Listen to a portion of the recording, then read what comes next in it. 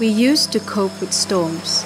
We built coastal walls of stone, planted mangroves, and constructed houses on higher stilts. But these efforts had their limits. Now cyclones hit the Solomon Islands every season, powerful enough to cripple our economy overnight.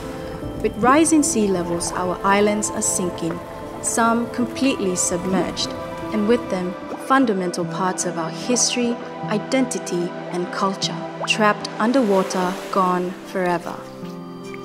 Climate change is often called the biggest injustice of our generation. The least developed countries like ours have emitted the tiniest fraction of the planet warming gases that drive climate change. Yet, we are five times more likely to lose our lives from climate related disasters.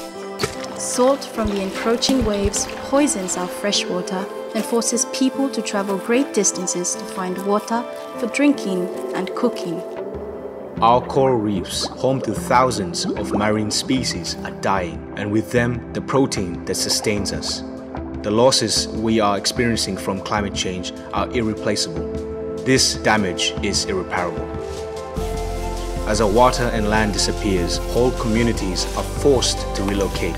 Some forced to squat illegally, exacerbating tensions between ethnic groups which makes us afraid we will revisit the violent conflicts of the past that labeled our country a failing state. We are worried about our country's future.